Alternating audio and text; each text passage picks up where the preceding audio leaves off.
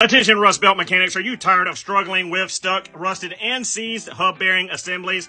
Try out Astro Pneumatic 78834 Last Chance Impact Rated Hub Removal Bolt Kit. Under 30 bucks, not gonna break the bank. In the kit, you get four impact rated bolts and nuts, and you get little feet for the bottom of your nuts. Now, you might be asking, how in the world does this get a hub assembly out? What you wanna do is take a hammer and hammer out one of your wheel studs, or you might have to cut it down and then hammer it out due to space constraints. Then you pick one of the press bolts from the kit that fits through the hub put the nut on the back, put the foot on the back, and then you can press against the knuckle with this kit as your last ditch effort to get that rusty and seized hub assembly out of the knuckle.